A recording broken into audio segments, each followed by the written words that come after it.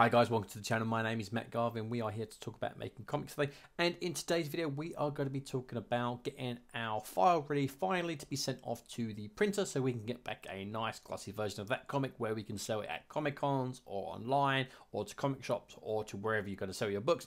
Now, if you have been following these videos for the last couple of weeks, it may have seemed like a bit of a long-winded process of, you know, getting the pages set up in the correct way, that kind of thing.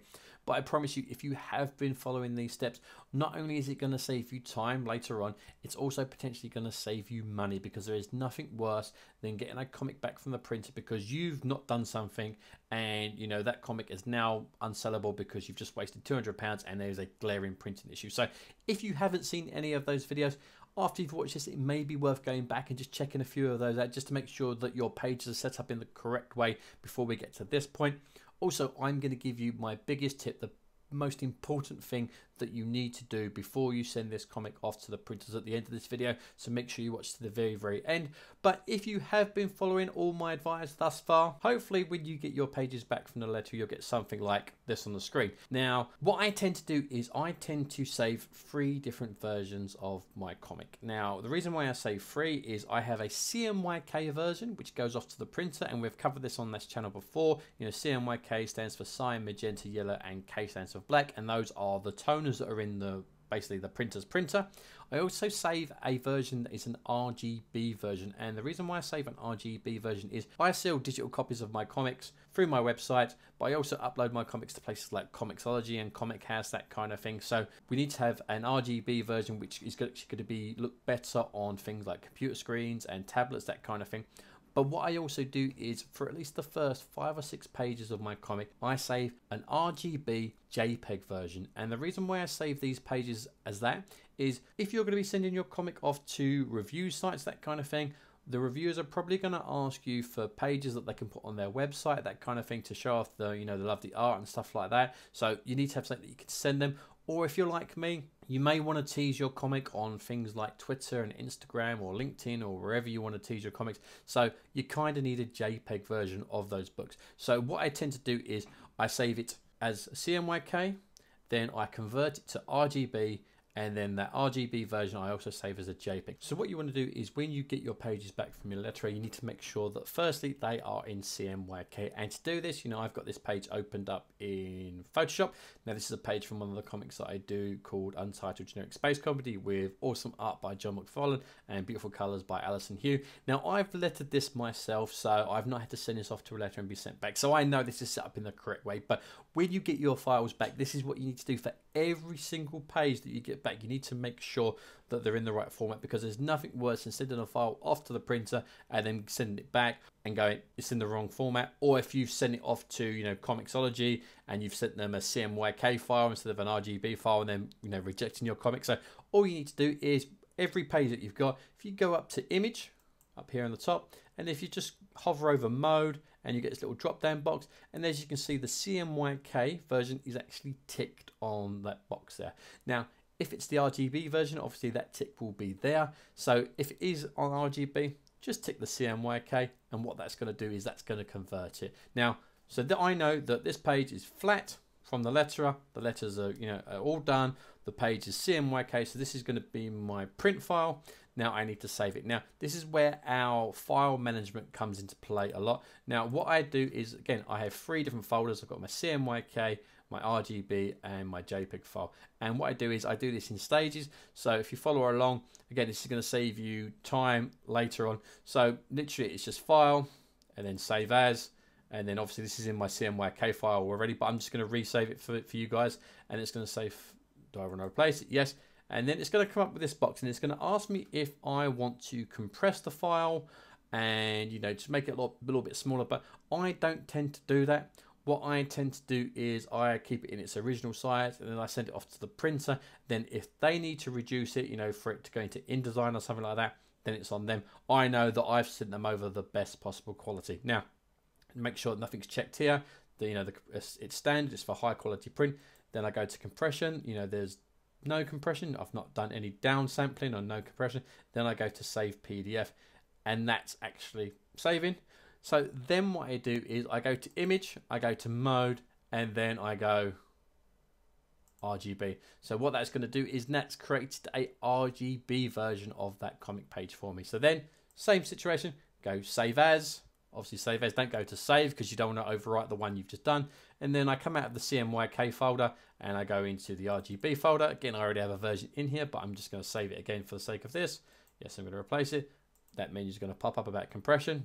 I know it's all fine. So that's saved. And then what I do, one last time, I go to save as and then in the drop down box, I go to JPEG and then I come out of that folder and I go into my JPEG folder and then I save that as a JPEG and I always save it as you know maximum quality because obviously I want to show off the art and the colors as, as lovely that they are and click OK. So now I have my three versions of my comic. So I've got my CMYK, my RGB and my JPEG. Now one of the other things that I do which may seem quite bizarre is I renumber the pages of my comic. So for an example, the page you can see on the screen at the moment is actually page one of this comic, but I have saved it as page three. So because what I do is I save the cover as 01, I save obviously the inside cover as 02 and then the first page of the comic as 03 and 04, 05 and so forth. Then the inside back cover, which is 27, and then the actual back cover of the comic, which is 28.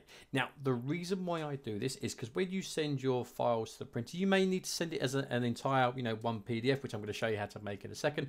But I use an online printer and I can send it as a whole PDF or I can upload the pages individually. Now, I always upload the pages individually for two reasons. One, because I'm using an automatic system, sometimes you know it may not recognize that you know the cover is the first page and you know the where the comic page starts and where the comic pages end. So if i've numbered them 01 02 03 04 it's going to put them in the right order. So if you do do that make sure you don't do 1 2 3 4 it's always 01 02 03 04 because you never know. Sometimes these systems you know will put number 1 next to number 11 because of you know they match up. So that's how i do it. And the reason why i upload my pages individually is when i use an online system if there is a problem you know the, the printer may notice there's a problem with the bleeds or something like that they will say matt there is a problem with you know page four. And rather than having to take that entire pdf back and make the changes and build the pdf again i just need to change that one page and then re-upload that one page and it makes it a lot simpler. So how I do it, again, I just, the cover is page 1, 01, inside cover 02, the first page of my comic is 03 and so forth. So, okay, so once you've gone through all your pages and saved them correctly as PDFs as either CMYK, RGB and the occasional JPEGs, that kind of thing, what we need to do is we need to combine these into one separate document that you can send off because if you want to send it off to the printer as one big document if you're not using an online printer or you know you might need to you know upload this to places like Comixology and that kind of thing which again I'm going to show you in a couple of weeks time so you know make sure you hit that subscribe button and ring that bell so you don't miss that video.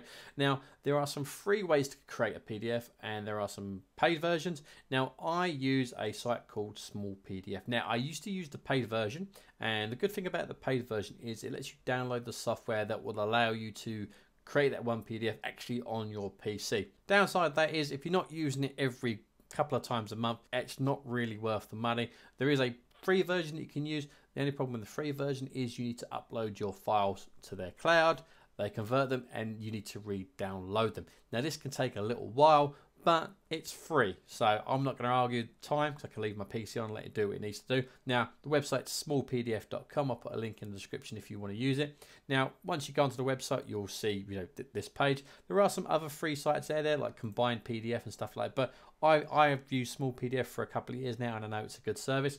Now, there's two tools that we can use here that are very, very handy. One is the Merge PDF which we're going to use right now. But also, once we've merged that PDF, another one we can use is compressed PDF. Now, this is great if you're going to be sending this to buddies or you're going to be sending it to reviewers, that kind of thing. Because what it does is obviously going to compress the file, make it a little bit more palatable for people to download, or if you want to put in a Dropbox folder, that kind of thing, rather than having to, you know, perhaps save a download a file that's, you know, half a gig, something like that. So the merge PDF and the compressed PDF are two great tools that we can use here, but I'm going to show you how to use the merge one first. It's easy as pie. Basically, just click on merge PDF and this menu opens. Then all you do is you grab your file. So I've got my, my lettered files here. So I've got my RGB file. So I'm going to go from pages 1 to 28. I've already got a version here anyway. Um, but then I'm just going to drag it over and all that's going to do is that's going to upload those files and it's going to merge them and then I need to re-download it. The problem is it's going to take a bit of a while, so I'll be back in a second. Okay, so we're back, and that took about four minutes for that file to be uploaded, and then you're met with a screen, and it's offering you offering you the merge files and the merge pro files. Again, you don't really need the pro version because that's what you have to pay for. So you know, just click merge and then choose option. And then you met with this screen is giving you one last chance to check out your pdf before you know it actually gets merged together. So if for instance, if you have mislabeled any of the, the pages and you do need to move them, just click and drag and you can swap them around wherever you want. But then apart from that, again, all you need to do, just make sure everything's done correctly and then click merge PDF and away we go. And again, this is going to take a few minutes, so rather just sit here in silence, I'm going to cut to it being done. And that's it, guys. That's how easy it is to do. Then from here, all you need to do is click the download button. You can download it directly to your device, or you can save it to your Dropbox and Google Drive. But that's it. That is your file condensed, compressed, a single PDF created of your document for your comic to be sent off to the printer. Now, this is the most important thing that I wanted to say to you guys, and it's what I mentioned at the beginning of the video. Now, before this file goes anywhere near a printer, and I'm going to show you how I print next week, what you need to do is you need to have someone proofread this book for you. I cannot emphasize how important that is. And you might say to me, Matt, you know what? I've had someone, you know, proofread my script, and then I proofread the letters when they came back. I get that. But sometimes when you're working on a project, especially myself when I'm lettering something, sometimes I make a silly mistake that's, you know, that's going to cost me. So what I tend to do is I have I have a few buddies that I let read my comics before they go to the printer, but I have three main proofreaders. And the reason I've got three, I've got my friends Jenny and Paul. Hi guys, appreciate your support. But I also have Mrs. Garvey as well that is my final proofreader. So what tends to happen is is Jenny and Paul will both proofread it for me. And the reason why there's two of them is because sometimes Paul will find stuff that Jenny misses and sometimes Jenny will find stuff that Paul misses because we all miss miss stuff. And then based on what they find, then it goes to Mrs. Garvey who will give it that once more read through. And between the three of them, we tend to catch all the mistakes. So, so what I'm saying is what you need to do is you need to have at least two people, you know, have a little read of that comic just to make 100% sure that that comic is absolutely spot on and it looks professional because you don't want to look amateurish because you've missed a full stop or you've missed a comma or you've put an A and an E around the wrong way, something silly like that. Because sometimes when we're reading really, really fast, our mind kind of makes up the mistakes and makes them look perfect. So that's what I'm going to say. That is the most important piece of advice. Now, if you've enjoyed this video, don't forget to give us a like, share, and subscribe. I will see you in the next video. And remember, if I can make comics, anyone can. Take care.